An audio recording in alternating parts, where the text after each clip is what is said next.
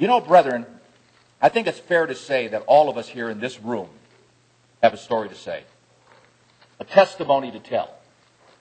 Something that I'm sure that if indeed you were asked and given the proper forum to, to share with people, you would have your story on what compelled you to have a relationship with Jesus Christ.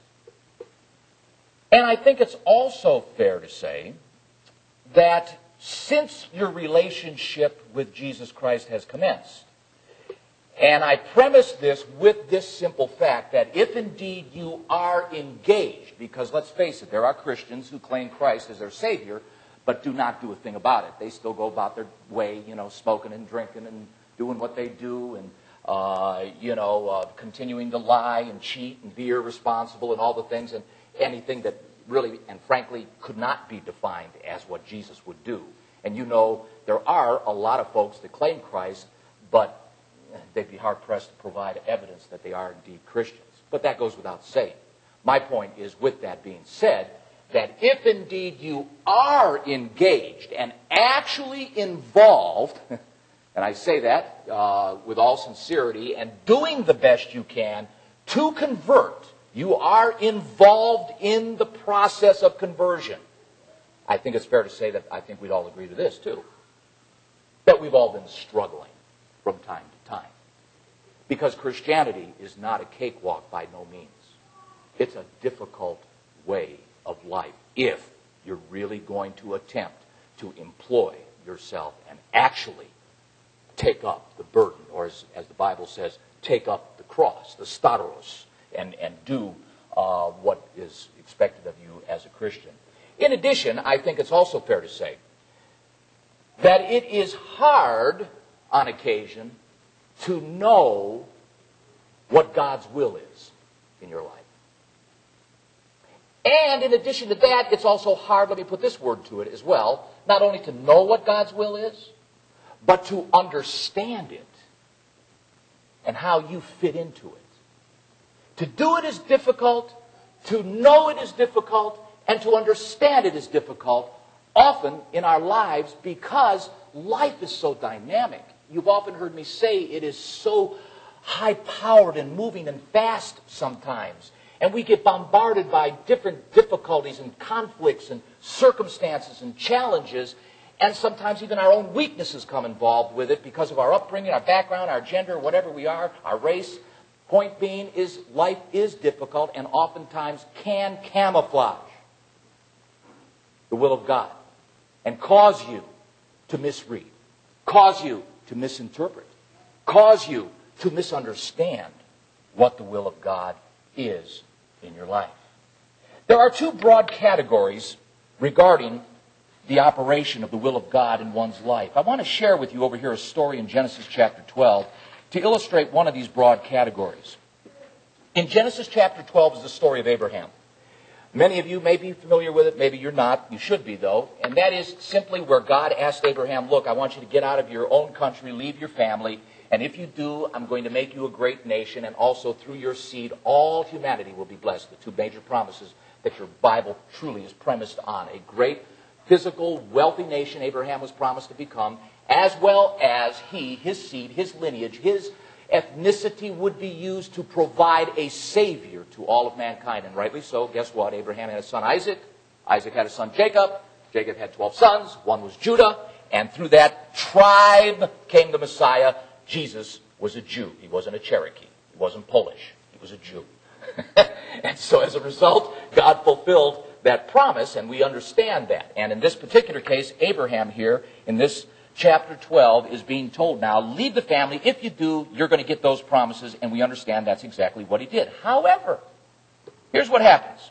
He comes down over here in verse 10, and we find that there was a famine in the land, and Abram went down into Egypt to sojourn there, for the famine was grievous in the land. It came to pass, when he was come near to enter into Egypt, that he said to Sarai, her name would be changed later on to Sarah, but right now it's Sarai, his wife, Behold, now I know you're good looking. You are fair to look on. You are hot.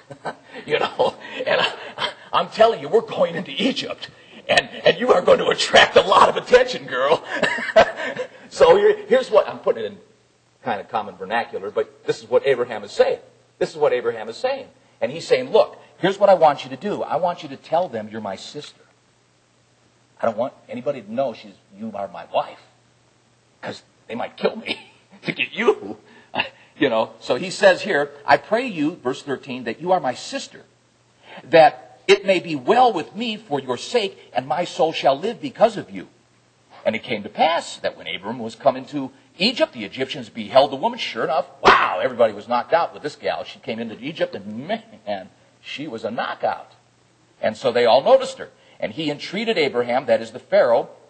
Verse 15, the princes, all, princesses, uh, princes, I'm sorry, also of Pharaoh saw her and commended her before Pharaoh, and the woman was taken immediately into Pharaoh's house.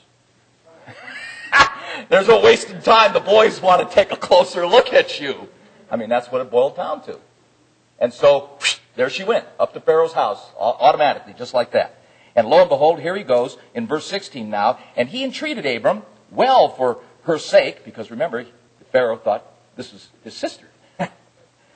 And so uh, they threw, throw this big party, sheep and oxen and, and men servants and so forth. And the Lord plagued Pharaoh and his house with great plagues because Sarai, Abraham's wife, and Pharaoh called Abram and said, What is this that you've done to me?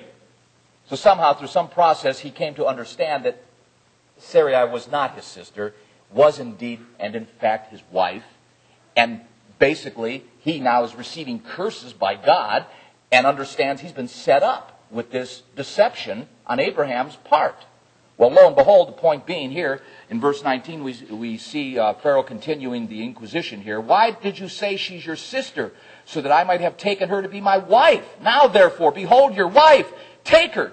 Get out of here. And he's lucky. I'll tell you what, he was blessed to get out of there with his life after that and doing that kind of a thing to the Pharaoh of Egypt. As a matter of fact, I still scratch my head wondering what went on that allowed him to get out of there with his head still attached, if you know what I'm saying. Because he, he really put the Pharaoh, and Pharaoh was upset about it uh, in a very, uh, what you could say, hard uh, place, you know, uh, uh, a difficult situation. And so Pharaoh commended, in verse 20, his men concerning them. They sent him away, his wife, and all that he had. But here's the point on all of this, and a lesson for all of us to keep in mind. As I mentioned, there are two broad categories of knowing or how to interact with God's will. And one of them is even though Abram was operating within God's will, and I say this clearly because in the earlier portion of chapter 12, he's told to leave by God. It doesn't get more clearer than that. So you know he's operating within God's will. He left. And then circumstances dictated to him to take care and concern due to the famine, so he went into Egypt. But where he made his mistake, he veered off of God's will, didn't he? He lied. He deceived. He started conspiring with his wife and got her to agree look, you tell him, the Pharaohs or anybody who comes and t- asks you who you are when we get into Egypt because you're so good looking, to protect me, I want you to say, you're my sister. So all this conspiring, all this conniving, all this ruse, all of this deception, Abraham went off the reservation. He started interfering with God's will and complicated. Didn't he not? Did he not? Complicated the circumstances for himself. And we don't know. The Bible's not really that clear there in the latter part of chapter 12 on just how close he came to being killed. Right? And he is. We know pharaohs of Egypt were not known for their mercy, forgiveness, and uh, relief, as they would, uh, as we would see here, being given to uh, Abraham in this particular case. But the point is well taken, brethren, that here is a perfect example of someone who is indeed taking it upon himself to actually interfere in the will of God in their life. And this is the point I want to make by taking the liberty to engage his own or her own judgment in the circumstances that they find themselves in. And as a result, make a bad situation or a risky situation worse because they took circumstances into their own hands and thwarted what perhaps God could have done or would have done if they would have just been a bit more, and we're going to get to that in a moment. And I'm going to leave that as a blank for you to just kind of think about on what I'm alluding to in this particular case. Second story, similar situation, but want to share it with you over here in regards to the birth of Esau and Jacob, the heel grabber. over here in chapter 25, chapter 25. And this chapter essentially describes the birth of Esau, the twins, and Jacob. They, uh, here in verse, and we'll break into the context in, uh, let's say, verse 21 of Genesis 25, 21 here. Isaac enters, that's uh, the, the father of uh, Esau and Jacob. Isaac, who was the son of Abraham, entreated the Lord for his wife because she was barren. She couldn't have babies. And so he, he implored, he prayed, he you know, did what he could do to ask God to allow his wife, uh, in this case, uh, to have, uh, have these babies and, or have a baby. And so, uh, lo and behold, the Lord was entreated of him. And verse 21, Rebekah, his wife, did conceive. The children struggled together within her. And she said, If it so be, why uh, am I thus? And she went to inquire of the Lord. The Lord said unto her, There are, this is interesting. You always don't want to just read over things, brethren. You have to understand something. You, under, you to understand even world events today, a little digression, but the fact of it is, you want to know why a lot of the fightings and and all of the riffraff and a lot of the disruption between the cultures of people today are what they are today? Well, right here, in the beginnings of beginnings, in the book of Genesis, a lot of those premises, a lot of those foundational Uh, animosities are laid down right here for your own perusal if you'll have the faith enough in order to believe it. Because as it's played out in these latter days, a lot of these nations that we see today are nothing more than the sons and daughters of generations that have been passed down from these very beginnings. And here, lo and behold, you're going to find out that in this particular case, in verse 23, we're told very clearly these are two nations of people. Clearly, the statement is made Esau and Jacob represent nations. They're not just two little human beings, two babies struggling in the womb of Rebekah. They represent two nations of people and would later on be the genesis or the fathers of those peoples. Now, granted, Jacob was a, carry on of that promise given to Abraham through Isaac to him, that then he dispersed through his, to his son Joseph on one aspect and to his other son Judah on the other. But the point of it is that I want to make here is, and this is important to, to, uh, to take note and be clear about, and that is that these are two nations that are in her womb and two manner of people, two types of people. And, and it goes on here. It says, uh, They shall be separated from your bowels, and one people shall be stronger than the other, and the elder shall serve the younger.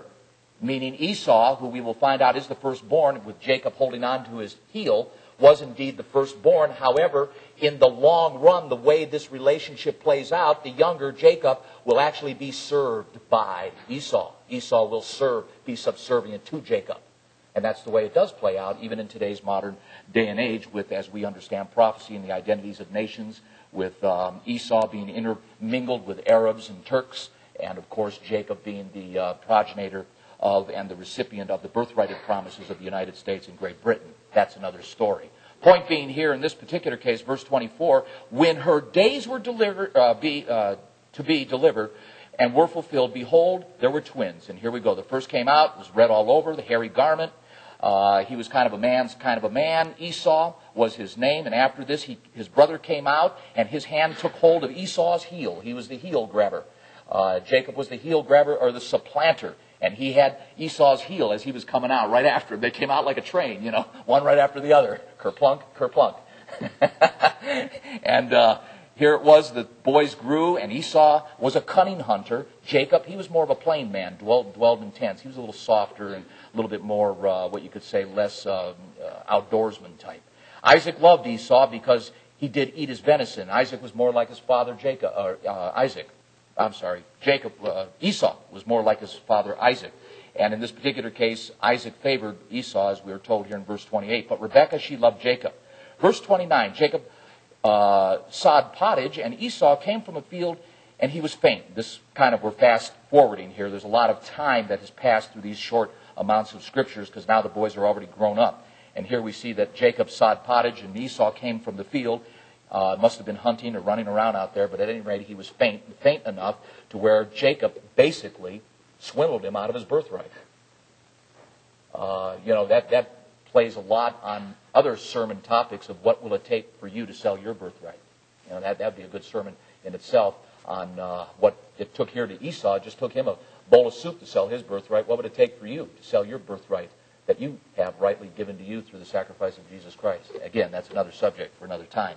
But at any rate, we find here as it plays out that Jacob does indeed get the birthright. He, in verse 31, Jacob outrightly says to him, Look, I'm going to give you the soup if you want it, but before I do, you've got to give me your birthright. That's the deal. And so Esau says, Well, look, I'm, I'm so hungry and faint, I'm going to die, and so therefore give me the soup. You've got my birthright, I'll give it to you. And so he does. He goes ahead and gives him the birthright, and as we understand, the uh, rest in that respect is history. However, as time went on and Isaac gets close to his death, here, in this particular case, we find the ruse that took place in chapter 27. Genesis chapter 27. I'm not going to read the whole chapter, but again, I'm just going to reference the event that occurred here in regards to how Rebekah conspired with Jacob to fool Isaac, who was at this time now on his deathbed with very bad sight and was easy to fool him, obviously, because he was almost blind, apparently.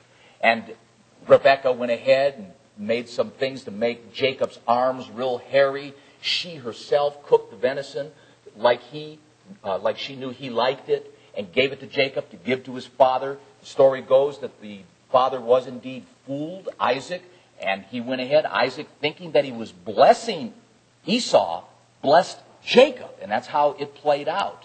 And the blessing of the birthright went to Jacob, supplanted it. He essentially got it by the swindling effort of his mother, who he conspired with him, Jacob, to get it from Esau. And of course, we understand how the blessings played out and how Esau was so brokenhearted and how he himself was indeed so disappointed and so filled with hate and anger over Jacob that literally this almost got Jacob killed. Remember how the story plays out? And Rebecca tells him, No, you go to your uncle Laban and you go over there and live and get away from Esau because he's out gunning for you and he's going to take your life. So, for your own self uh, preservation and your own safety, you get out of the land here and you go to your, your, your uncle and uh, spend your, the rest of your life over there. Find yourself a good wife, a good woman, and settle down over there and get away from Esau because Esau was out to kill him. Point being, again, here you have the will of God, the birthright was indeed given up. It was give, uh, going to be given up from the day one anyhow, because you know of the way the names of the boys were and all, and how God would have worked that out. We don't know, do we? We do know this that Esau did give his birthright up. So, really, with that being said, there was no need for Rebecca to take into her own hands, again, what she felt was necessary in order to assure Jacob to get that birthright blessing that he was deserving of in light of the fact that Esau sold his birthright. Point being here again, brethren, that in this particular case, when we, uh, you know, lose control of doing God's will in our lives, and this is a, a major point I want to make here, when we lose control in doing God's will in our life, in doing God's will in our let alone not knowing, may not still understand it, but boy, we should. Should we not learn to know what God's will is so that we do it? We know what He would expect of us, even though we may not understand where He's taking us in these circumstances. It is important we understand what to do in regards to His will, what His will is, and the way you identify that, of course, is getting familiar with your Bible, getting familiar with His values and His standards, and what He would expect you to do. So doing is one thing. You, know, you may not understand where you're going. You may not know exactly where He's leading you, but at least understand what to do. Know God's will. That's important. And here's my, my cautionary statement. When you move off doing the will of God in your life, you begin to run the risk, an extreme risk, of complicating the circumstances you're involved with. So stay above the reproach. Take the, take the will of God's way every time. And if you're not sure what Jesus would do in this case, whatever that case may be that you find yourself surrounded by in those circumstances you're contending with and conflicted with, then maybe do a Bible study, maybe some fasting, maybe a little bit of prayer to ask God. You may not understand what this all means. You may not know where the ultimate end of this tra- uh, travel or this journey is going to take you, but at least understand what you should know what to do in those circumstances. In those circumstances.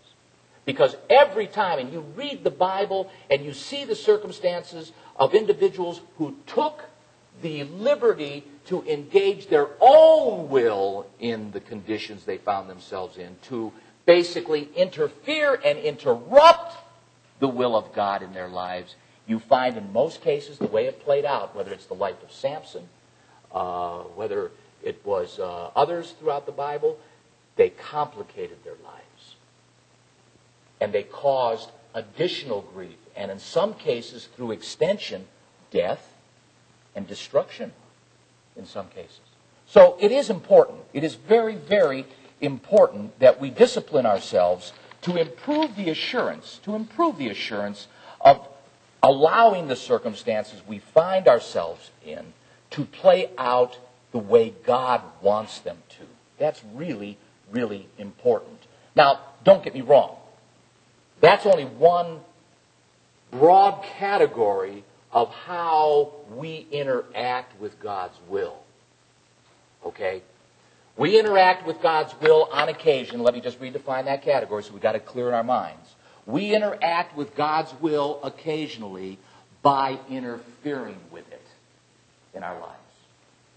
By choosing to take the liberty to go off the reservation, for lack of a better term, if you know what I mean, and drift from the will of God and do something that is totally contrary, that we know is contrary. And maybe if we don't know it's contrary, then shame on us for not knowing. But because we do that, we complicate the circumstances, or as they would say, make a bad situation worse. That's one category. This is another category, because don't get me wrong. the irony of this whole thing, that is the Christian walk, the irony of the Christian walk, is that you can do God's will and still get in a lot of trouble and still have a lot of difficulty. You could walk the line letter of the law and do it just right, and guess what? You still get punched out. You still get figuratively, metaphorically bloodied. And, and in essence, taken advantage of, or even perhaps, as they would say, lose a battle, whatever that battle may be, uh, hopefully, you won't lose the war, but you'll lose the battle here and there in the, pro- uh, the progress of or in the procession of whatever the event is that you're finding yourself uh, involved with. And we have biblical precedent to understand and expect this over here in Hebrews. Let me remind you about this before we even proceed with some uh, additional scriptures here to share with you to illustrate what I'm talking about. But look over here to Hebrews chapter 2 because this is the biblical precedent that assures us, unfortunately, that we're going to find our maturity, we're going to find our growth, we're going to find our perfection. Not that we can achieve perfection in the flesh, what I'm saying is progress. We're going to find it where it comes from, as your Bible states, is through the house of suffering. Jesus was no different. Look at this. Over here in Hebrews chapter 2, we see in verse 9 stated this very clearly. Uh, as we go down through this scenario of describing where we are right now in the way the plan of God has unfolded and what the status of the plan of God that has unfolded up to this point is, the writer states this. Uh, we see man with potentially, that's what he's saying, to become really the co-heirs with Christ of the whole universe. However, not yet. The writer comes down and concludes, however, not yet. He says this. Instead, this is what we see. But we see Jesus, verse 9, who was made a little lower than the angels for the suffering of death, crowned with glory and honor, that he, by the grace of God, should taste death for every man. That comes first because that is the process by which God is redeeming humankind back, redeeming humankind back to him through the death of Christ. That has to come first before we can even become or think of becoming co-heirs with Christ, right? So that has to come first. That's what he's saying here, this writer, in that he's qualifying the fact that, look, this is what we see first. We see Jesus who's going to taste death for every man. Verse 10, though, this is important, and this is what I want to illustrate to you. For it became him for whom are all things, and by whom are all things, in bringing many sons unto glory, to make the captain of their salvation, and here it is, mature or perfect or completed through health and wealth. You know, sow your seed with me and you'll get a brand new Cadillac. It doesn't work that way. Jesus learned his perfection. He learned the real life and the ins and outs of life through the things he suffered. Solomon wrote way back in the book of Lamentations, did he not? That in the house of suffering there is great wisdom. In the house of suffering. Unfortunately, if all we've got are good times and a, a walk in the rose garden, sadly, we don't notice the things that we should because we're distracted by all the good things, the money or whatever it may be, the, you know, the, the riches and uh, the, the wealth and or, or the affluence or the materialism that we surround ourselves with.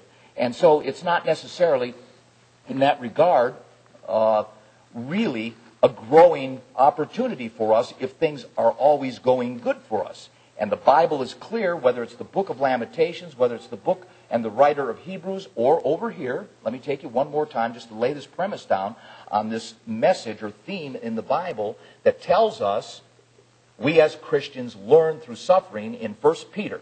Go to 1 Peter for a moment here, chapter 4, and we read this. And Peter's admonition to all of us as Christians is hey, buckle in, get ready. Life is not going to be easy. As a matter of fact, if you take up this way of life, the way of Jesus Christ, and live His standards and His values, especially in this society today, as we can see it going the way it's going, in this particular case, verse 1, very clearly stated by the Apostle Peter, he says, For as much then as Christ has suffered for us in the flesh, arm yourselves likewise. That's what he's telling the Christians. In other words, you arm yourself, you prepare yourself just like Christ did. Arm yourselves likewise with the same mind. That's the same mindset. What is that mindset? Well, just think about it. I mean, Jesus had to be a pretty determined character, didn't he? A pretty disciplined character.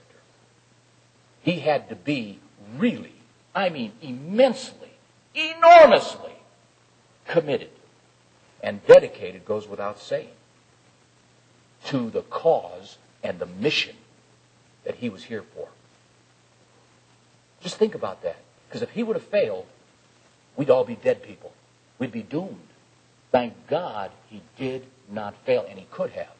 There was no predestination here involved guaranteeing that he was going to make it through this physical experience of this living this three-dimensional life in the flesh that he was incarnated to uh, guaranteed. There was no guarantee. He was at risk. Otherwise, we don't have a Savior that could be touched by the same infirmities, right? So in this particular case, he says, look, Arm yourselves likewise with the same mind. For he that has suffered, oh, look at this barometer. He that has suffered in the flesh has ceased from sin. Let me say it this way. He who has not suffered in the flesh has not ceased from sin. Isn't that what it says? That's what it says in reverse. And that's why people say, well, God doesn't want us to have fun. Well, God wants you to have fun.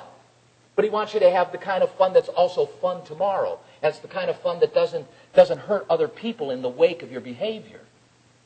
God wants you to have fun. God wants you to enjoy life within His framework, within His definition, because He knows by virtue of the fact he created us, what works best for us. Now, it comes to play that we have to trust him on that, of course, but that's where we're heading, and I don't want to get ahead of myself here a little bit on that uh, because I want to take you there slowly, step by step. So, with this fact being told to us that we learn things through suffering, we understand that even though, and remember the second category here that we're, we're butting up on now, even though we may do God's will, and oftentimes people, and I've talked to people like that, even myself, I, I, would have to admit, I'd be a liar if I didn't admit this, that, you know, there's some things that I just didn't deserve. There's some things that, ha- that have happened to me in my life, I'm sure you could say the same thing, that I just flat out did not deserve because I didn't do anything wrong. I did not do anything wrong. I don't deserve this. So God, that's what we always revert to, don't we? Why did you allow it? You know. But the fact of it is, the second category, brethren, we cannot dismiss this. We cannot dismiss this. The fact of it is, God is on a mission with you. I'm going to explain to you why it's also important that even if you are doing God's will, you will suffer. That's what your Bible says.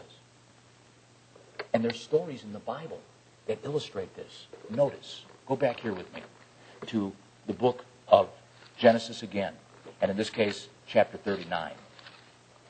Genesis 39, you know this guy. He's Joseph, the son of Jacob. As a matter of fact, this was one of Jacob's, it was Jacob's favorite son. The boys were so jealous, the other 11, they sold this one into slavery. The Ishmaelites put him in a caravan, you know the story, and uh, if it weren't for Judah wanting to make money off of Joseph, uh, uh, Joseph would have been killed. But Judah, like a good Jewish individual looking to make a few bucks, went ahead and uh, took uh, Joseph and sold him off to the Ishmaelites. Well, the Ishmaelites bring him over to Egypt. And here we pick up the story. Joseph, now being sold into slavery, is brought down into Egypt to Potiphar, an officer of Pharaoh. This is chapter 39, book of Genesis, and verse 1. And he's the guard of the Egyptians, and it bought him at the hands of the Ishmaelites, who, of course, bought, uh, found uh, Joseph there out there in the, in the wilderness. Uh, and they brought him there. Okay, verse 2 now, Genesis 39. The Lord was with Joseph, and he was a prosperous man. And he was in the house of his master Egyptian. For the sake of time, I'm just going to paraphrase. You will read uh, here the story and find that Joseph wins over the trust of Potiphar. As a matter of fact, he wins such trust with Potiphar, and Potiphar trusts him so much and so well, he gives him full reign and rule over his household goods and allows Joseph in the house doing the business of the work of the house and managing the household alongside of a very lustful wife. And she has her eyes on Joseph. And so now she wants to basically get it on with Joseph. Joseph being the guy that he is because he's a very well disciplined, very strong, dedicated guy, and very trustworthy, honest, and he is very, uh, what you could say, dependable in this regard, is not in any way, shape, or form even thinking of doing that and tells her so. She gets mad. Oh, she ain't taking that because she wants this guy pretty bad. And so finally, it comes down to the fact that Potiphar is out on a trip wherever. They're there in the house alone. You know the story. She goes to grab him. He takes off. He pulls his jacket. She is left holding the jacket, and he flees. Well, she's got the jacket. Now she's so mad and upset, so she frames him and claims that he tried to make a move on her. Potiphar comes back, throws Joseph in jail. And there's Joseph in jail. I didn't do anything. The woman's lying. She framed me. What do you mean? God, I'm doing your will. I did everything I could. I even eschewed this woman's uh, attempt on me to have uh, her way with me. I was the one. I was the strong guy. I was the one that slapped her down. I, and I'm in jail? How did this happen? So there he is in jail. And here comes uh, the Pharaoh, and the Pharaoh gets mad at his baker. You know the story. And his butler. and so the butler and the baker get thrown in jail along with Joseph. And the butler and the baker have these dreams. And so the butler explains to Joseph that he had a dream. And he goes through this whole thing, and you can read about that uh, particular dream over here in chapter 40. I'm kind of just paraphrasing this for the sake of time because I don't really have enough uh, time to go into the detail of it, but take time to read these chapters 39 through 40 and 41. Point being, in this particular case, the butler goes ahead, explains his dream to Joseph. Joseph says, Look, I can interpret the dream for you. Butler says, You can? Says, yeah. So he interprets the dream, and sure enough, as he finds out later, because not only did the butler have a dream, but the baker had a dream. Unfortunately for the baker, though, the dream wasn't so good because what essentially it was was that the butler in three days was going to be reingratiated to Pharaoh. Unfortunately, when the baker asked Joseph what was the interpretation of his dream, he said, Well, in three days they're going to hang you from a tree and kill you. and, and needless to say, it played out that way. Now, however, before that all played out and before that all ended, Joseph told the butler, Look, I'm going to interpret the dream, but remember me. Remember, I'm interpreting the dream. Tell Pharaoh I did this. I want to get out of this jail. Tell him I'm okay. Tell him I'm a good guy. Tell, tell him that I interpret the dream, that I know, okay? Do, go, go to, be my advocate. Help me out here. Well, as it played out, the butler, he lived. The baker, he died. and guess what the butler did?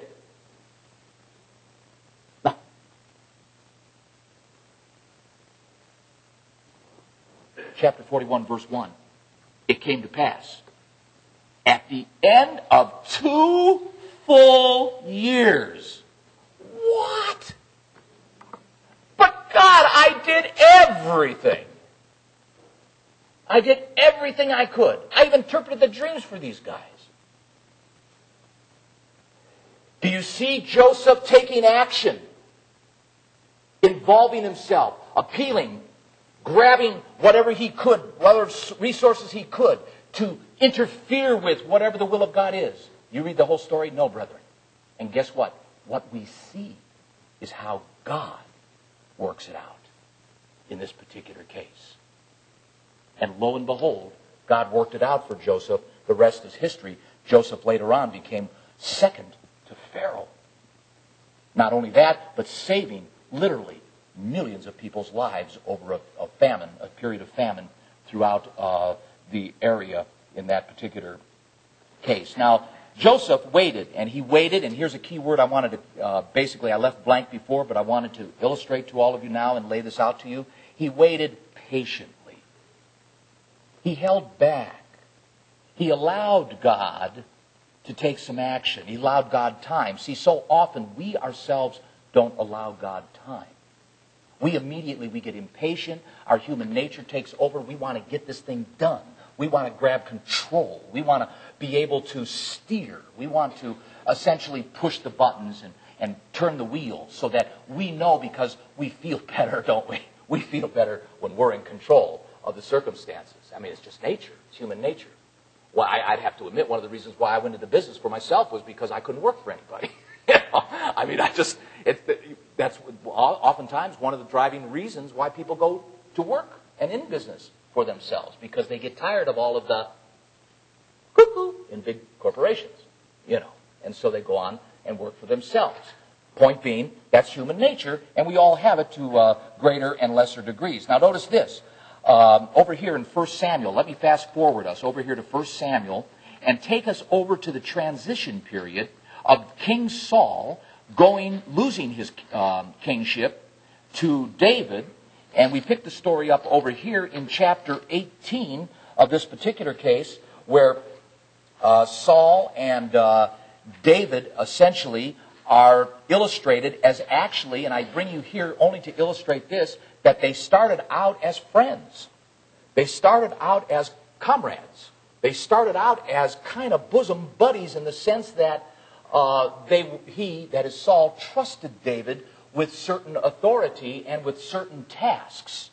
Later on, though, as time went on and as you read, um, Saul eyed David uh, uh, from that day forward, as verse 9 points out, because he became jealous of David, as David would wisely, in verse 5, pointing this out, behave himself with Saul, doing everything Saul asked him to do. Unfortunately, uh, got him accolades, recognition from the people of Israel, which caused Saul to be jealous. Verse 7 illustrates a little bit of that, where the women said one to another, and they played and said, Saul has slain his thousands, but David has slain his tens of thousands, you see. Saul didn't like that. He's supposed to be top dog. He's the one that's supposed to be the, you know, the great warrior, the one who's superior in, in all of this. And lo and behold, he saw people beginning to um, uh, look to David as one being superior over him. And so in verse 9, as Saul began to notice that, we see that he, verse 9, Saul eyed David from that day forward. Uh, and as you read the story and go through it, you begin to see how this all develops and begins to play, uh, play out. Um, ultimately, Saul even asks in uh, this particular chapter, verse 20, Michal, Saul's daughter, who loved David, uh, Saul then knowing this and finding out after he couldn't get David to marry his first daughter, told his servants in verse 22, Look, you tell David he can have my daughter. Well, David mentions to the servants, Look, in verse 23, uh, David said, Seems it to you a light thing to be a king's son in law, seeing I'm a poor man and am lightly esteemed. In other words, back in these days, you had a bride's price. If I wanted to marry somebody, I had to have money. And so I would pay the father money so I could have the, the woman for my wife, as the father would have to give me her dowry. And so that was the way it was. Uh, that goes into uh, the uh, marriage laws of Israel and all that. I'm not going to get into a lot of detail of it, but the point of it is David is saying, look, I'm a poor man. Must not take a whole lot to get a king's daughter because I don't have anything to give the king. And Saul wanted David to marry Michal so bad, Michal so bad, that he said, Well, look, you don't need to have anything. I'll tell you what. Here's what you got to do. I want you to go kill a hundred Philistines and bring me their foreskins. Now, Saul had a motive. The motive was he never in his wildest dreams would think David is going to pull that off. No pun intended. but you know what I mean. there is no way, no way. But lo and behold, he not only slewed 100 Philistines, he took 200 out and brought back 200 foreskins. And Saul just, he couldn't believe it. He just could not believe it. Everything he did to this guy as he tried to kill him time after time, even with a javelin, throwing a javelin at him, and it hitting the wall, David ducking. A couple times that happened as you read through the story. It's a great story. You, you need to read this portion of your Bible. It, it's good stuff. It really is when you get down to some of the details in respect to verses 19 through, uh, the chapters, that is, chapters 19 through about 23. But let me advance you over here to chapter 24, where uh, here, in this particular case, uh, we find that uh, David is on the run now. And in chapter 24, and in verse uh,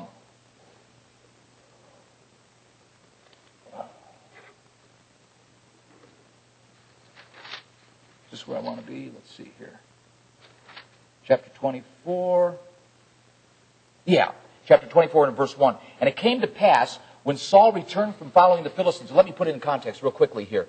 What was happening is Saul was chasing David down. And You can read that in chapter 23. And he was getting really close to David. As a matter of fact, they were so close that David was on one side of the mountain and Saul was on the other side of the mountain. They were going in parallel. They didn't know that they were that close to each other. And you can read about that in chapter 23. But then, lo and behold, Saul got word that the Philistines were attacking Israel, so Saul had to divert, and David continued on in, in the caves and hid because he was on the run. Saul was looking for him to kill him. So now David is in a cave. All of his guys are back against the wall. They're in the dark. They're in a cave. And they're in this area. And lo and behold, who walks in the cave to go to the bathroom? Saul. Saul walks in the cave to go to the bathroom. So here he comes. David and these guys are in the shadows. They're all in the shadows. They watch the king come in.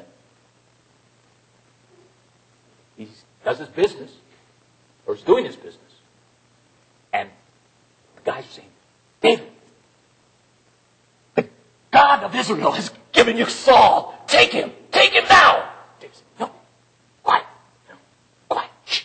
You know, I mean, these guys were fighters. These guys were the elite. These were the ops of the military. I mean, David had some gruesome guys. I mean, tough dudes. You wouldn't want to meet these guys. These guys were really fighters and warriors. And so lo and behold, what David did was he did appease them a little bit. David crawled out. I mean, think about it. He crawled up while Saul's doing his business, cuts a piece of his, oh, his clothes off, grabs it, pulls back. And then he told those guys, stand down. And then, while David's holding this, you can read this in the story, I'm kind of paraphrasing for time, he starts feeling bad. He's feeling guilty. He did that to the king of Israel. The king of Israel. But notice this. Here's what I want to point out. He says here, the men of David said in verse 4 unto him, Behold, the day which the Lord has said unto you, Behold, he will deliver your enemy into your hand. You may do to him as it seems good unto him. David arose, cut off the skirt of Saul's robe, because David got motivated to do that. But then it came to pass afterward, David's heart smote him, because he cut off Saul's skirt. And he said unto his men, The Lord forbid that I should do this thing to my master, the Lord's anointed, to stretch forth my hand against him. David respected the position so much that even though Saul was such a character, such a scoundrel, and deserved perhaps in many respects because it certainly was unjustified of the aggression he took on David's life, that if David did take him out, certainly it could have been, the case could have been made, it was a deserving act of execution that David did because it's either him or me, so to speak. I mean, that's human nature. But David took, took the, the, the will of God role and respected God's interaction in the situation so much that he reprimanded himself, telling himself, How dare I ever encroach on something like this? That I would actually show disrespect to the very anointed king that God put in position. Think about that. That's, that's a lot of character to think about that when this guy is out to kill you, and it's either him or you, and you do that kind of a thing and take that kind of a uh, approach. So David stayed his servants. He told them, stand down with these words and permitted them not to rise up against Saul. Saul rose up, got finished, walked out of the cave. Verse 8, David arose afterward. This is chapter 24, 1 Samuel, verse 8. David also arose afterward, went out of the cave, cried to Saul, saying, My Lord, King! And when Saul looked back, David stooped with his face to the earth and bowed, paying him. And well, he wasn't being sarcastic. He was just, you know, he was the king. The king turned around. David did the proper protocol. He respected him in that regard. David said to Saul, Wherefore hear your men's words, saying, Behold, David seeks your hurt. Behold, this day your eyes have seen how that the Lord delivered you to the, today into my hand in the cave and bade me, and my, and some bade me to kill you, but my eyes spared you, and I said, I will not put forth my hand against my Lord, for he is the Lord's anointed. Moreover, my father, see, yea, see the skirt of your robe in my hand, for in that I cut off the skirt of your robe, I could and killed you not. Know you and see that there is neither evil nor transgression in my hand, and I have not sinned against you. You have hunted my soul to take it. The Lord's judge between me and you, and the Lord avenge me of you. But mine hand shall not be upon you. And he said the proverb of the ancients, wickedness proceeds from the wicked, but my hand shall not be upon you. After whom the king of Israel came out, after whom does you pursue, after a dead dog, after a flea. The Lord therefore be judge, and judge between me and you, and see and plead my cause, and deliver me out of your hand. And it came to pass, when David was done speaking unto Saul, Saul said, Is that uh, is this thy voice, my son David? And Saul lifted up his voice and wept. That's God's will in action. All David did was stand up for truth, stand up for honor, stood up for the right cause, stood up for honesty, stood up for the truthfulness of the situation. And guess what? It hit Saul right in the heart. Brought him to tears. Notice, he goes on, he goes on here, and he says to David, You are more righteous than I. You are more righteous than I. For you have rewarded me good, whereas I have rewarded you evil. And you have showed this day how that you have dealt well with me, for as much as when the Lord has delivered me into your hands, you did not kill me in this regard. David would not, and here's the point, brethren, a major lesson I think all of us need to know as Christians. David refused very clearly, very definitively, very disciplined in this fashion, not lower himself to the level of those that were pursuing him. In no way, shape, or form would he grovel on that level and diminish the values that he had, that he stood, the boundaries that he knew and defined as, and, uh, for him by the living God. He didn't compromise. He was very uncompromising. So, what am I saying in this? There are, as I say, two broad categories of working within the will of God. You can interfere with it in your life if you recognize it, or because you don't recognize it and get impatient, think you've got to take action and misread it, and misinterpret it, and make a bad situation worse, complicate your circumstances, run the risk of complicating the circumstances. By the same token, you can be a letter of the law person, do the will of God, and still get slapped down for it. So, what is this that you're talking about, Bill? What is it? I mean, how, what's your point in all of this? Here's the point, brother. You have to understand something. All of us do. And that's why it's so critical and important and incumbent on all of us to truly comprehend this one point. Understand and capture this. You and I are all in a program. You know what it's called? Faith Building Program. FBP. It's a faith building program. The acronyms help you to remember. Remember that. FBP. BP, British Petroleum. but it is for faith building. It is for faith building. Everything you go through, if indeed you are an engaged Christian, is all about faith building. Why is that so important? Because God is concerned about one thing and one thing only his relationship with you and your relationship with him. And in this particular case, the way we please God now, and let me take you over here to Hebrews chapter 11 to substantiate some of this that I'm about right uh, to uh, introduce to you here because it's so very, very important in Hebrews chapter 11 that we get this point. And the circumstances that we find ourselves being faced with and contending with are indeed oftentimes the tools by which we, in the heat of our life, are essentially forged into the beings, the people that God wants us to be. And therefore, it's important then, obviously, when we go through these circumstances, that we have faith. That we have faith. God says here in chapter 11, verse 1, here's what faith is it's the substance or the confidence of things hoped for, and it is the evidence or the certainty of things not seen. So faith is the confidence of things hoped for. I'm confident that what I'm hoping for is indeed going to come true. And uh, the certainty of things not seen. I am certain that I am bound for a resurrection and that God's kingdom is real. Jesus Christ is alive at the right hand of the Father and is going to come back to this planet and resurrect those that he knows are his.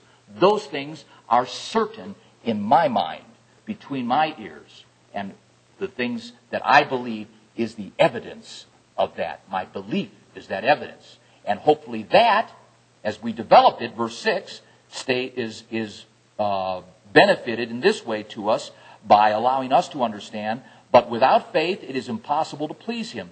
For he that comes to God must believe that he is, and that he is a rewarder of them that diligently seek him. And of course, the inverse of that is, is that with faith, you do. It is possible to live or to, to um, uh, please God. With faith, it is possible to please God. You go through this whole chapter 11, brethren, and read the stories of what these individuals, whether it was Enoch and Noah and Abraham, we, we read a few, Sarah, Jacob, Joseph, we read a few of these, Moses, we have Rahab the harlot, so many others, Isaac and so on. They were tracked down like dogs, they were hunted in caves and so forth. There's no health and wealth in these ministries and many of the lives of these people. For sure, they were beaten down and looked upon as the dregs and scourges of, of uh, life in so many respects. But guess what they did? Throughout their life's circumstances, regardless of how hot it got uh, around them, they themselves went ahead and pursued believing and knowing as pilgrims from another country, forging ahead through this life circumstances to maintain the course so that they would be assured of the promises of which, verse 13, notice this, of which these all died in faith, not having received, they're not in heaven, they didn't receive the promises yet. They're not in hell, they didn't receive any curses. They're not in purgatory. They have not received the promises yet. We're told that again in verse 39. And these all having obtained a good report through faith received not, the, Moses is not in heaven. Enoch is not in heaven. Rahab is not in heaven.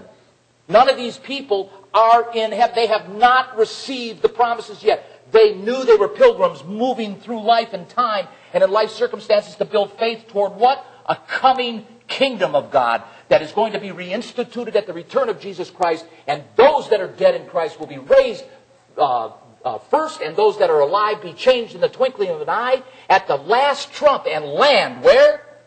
On the Mount of Olives. When did the dead come back alive? At the last trump. That's what your Bible says. How many trumpets are there? We're told, Revelation, seven. There's seven trumpets. At the seventh trump, that's how I can say that, the dead will rise first in Christ. Those that are alive, if they're alive and Christ returns in a twinkling of an eye, they shall be changed, meet Christ in the air, land on the Mount of Olives. Read there in Zechariah 14. It's a prophecy. And from there, God's law will go out and cover the world like the ocean covers the seabeds. And ultimately, all of mankind will learn what world peace is really all about. But in the meantime, brother, that's the ultimate objective. In the meantime, going through life oftentimes is quite disorienting because the will of God is not always as clear as we would like it to be as to where we're going. But what I'm suggesting, what I'm suggesting is that you don't need to know exactly where you're going at the time you're going through what you're going through. In due time, that will manifest itself. Give God that. Trust God for that. What you need to focus on is doing the will of God during that time. Notice, real quickly here, because time's running out on me. In 1 Peter chapter 4, go back to there real quick. 1 Peter chapter 4, but in this time, go to verse 12. Beloved, think it not strange concerning the fiery trials which are to try you as though some strange thing happened unto you. Why am I going through this? I don't understand this. What is God doing? Not important. Trust God. Have faith. Know that He's got your best interests at heart. No matter what you're going through, no matter how hard it might be, keep the faith and learn to know what God's will is during the circumstances so that you don't interfere and you know when to engage and when not to engage, when to let Him work things out and when you should take a step. Those are the important aspects. Those are important in the present while you're going through those things. And Peter says, therefore, look, don't think it's strange that you're going through these things, but rejoice in as much as you are a partaker of Christ's sufferings, verse 13, that when his glory shall be revealed, you may be glad also with exceeding joy. If you be reproached for the name of Christ, happy are you. In other words, if you do suffer wrong for being right, happy you should be. Happy. No problem, man. Irie, this is good. It's great to be persecuted. Wonderful to be beat up, to be betrayed, to be abandoned, to be hurt. It's a wonderful thing. Oh, not so good when you're going through it. But the ultimate objective here is Peter's telling you, do this. Look at it. For the Spirit of the glory of God rests upon you, and on their part he is evil spoken of, but on your part he is glorified. So maybe they do speak evil of you because of your weird ways, you know. You don't do this and don't do that.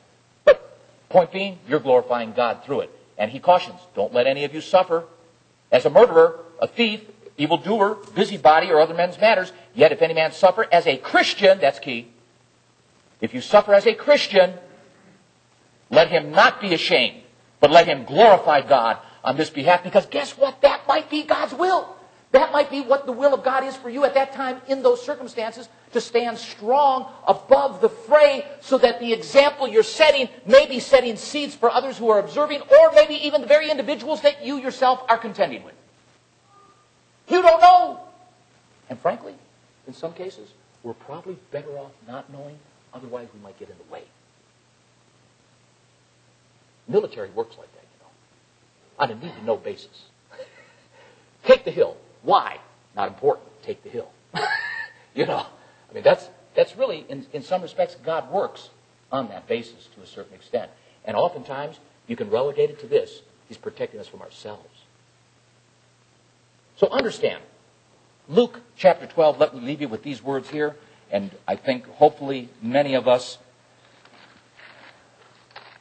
will be better for it. These are the words of Jesus Christ himself, where he says here, brethren, in Luke chapter 21, I'm sorry, not 12, verse, chapter 21, verse 19.